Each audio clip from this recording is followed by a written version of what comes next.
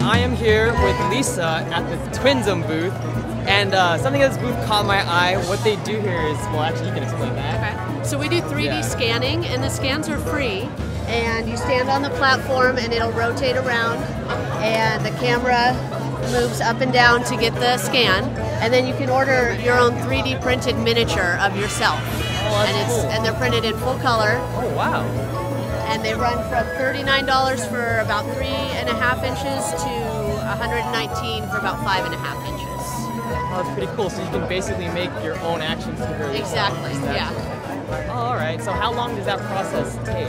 The scan takes about two minutes. The computer works for another couple minutes after that. Um, it takes the it takes Twindom four to five days to do the actual print, Oh, okay. and then it takes um, overall it takes about two weeks from when you order for them to ship it to you, and it gets get to delivered to, you. your house. We got into the business by um, an article in the paper was talking about Twindom and looking for partners to do the scanning, and Oh, we met with them and we bought the setup, and now we're partnered with them, and we do the scans and they do the printing. Oh, wow, that's pretty cool. This is our fourth convention, and um, and we've been doing it for about a year. Done most of the Wizard Worlds on the West Coast. You guys have been touring with uh, Wizard World? A little bit, yeah, just just the West Coast ones. Okay. It's been going pretty well. It's a lot of fun. It's very cool new technology, so everybody gets really excited about it. Yeah, your booth's been looking really busy since I got here. Yeah, we got we got a lot going on. So yeah, tell all the viewers where uh, they can find you guys online if they're looking to do something They like this. can, yeah. So you can go to twindom.com and you can schedule an appointment. There's a there's a center based here in Oakland, and we're based out of Sacramento. Babe, can you check this out?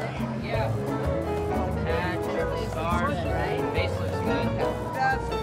I say go for it. I say go for it. Looks great. Yeah.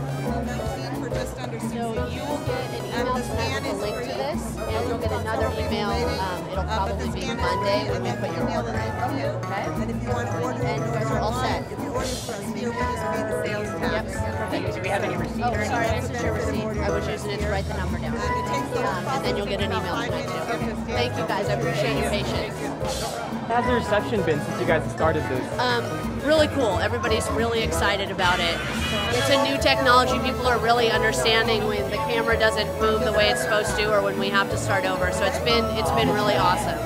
Um, and it's great for cosplayers because Oh, you know go. See, that's you're dressed up in as yeah as your favorite character, and that's even cooler to have a little figure of yourself.